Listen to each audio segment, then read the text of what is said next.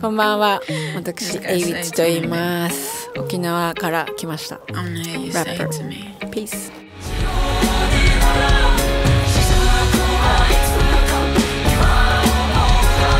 本当にシンプルなことなんですけど人がこう助け合うとか一体感を感じるとか分かり合うとかそういうことそういうなんかこう空間を作りたくてアルバムもそういう意味で作ったしあのみんなが一つになれるようなショーにするつもりでやりました今では並んでる電話帳飛び火してくパッション西も東も北も南も合わせる波長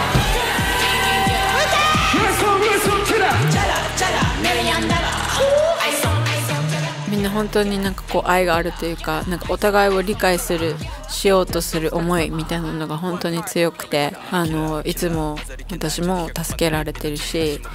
みんながなんかこう助けが必要な時は飛んでいくぐらいの仲間たちです。やっぱみんながこうなんだろう一丸となって成長に向かってるっていうことが一番なのかなって思いますね。なんか自分一人のあのなんだろう利益とかよりも一緒にそれこそユニオンじゃないけど一緒に底上げしていこうよみたいな感じがしますね。最初は本当にそれが怖くてなんかそういうクイーンっていう言葉だったりクイーンダムっていう言葉をわざと使わないようにしてたんですけどでも本当に前の前前作のアルバム「クイーンダム」っていうタイトルをつけた時からなんかこうクイーンっていうのは威張るっていう意味じゃなくてクイーンダムがもし国だとしたらみんなのことを考えた構造とかなんかこう音楽とかが作れるようにっていう意味ではそれが私の役割でもいいのかなと思ってそういう人が一人でもいたりしたらみんながこうつながれるっていうのが実現するのであればそういう役が私でもいいのかなと思ってそういうなんかこう仕事だと思ってやってます。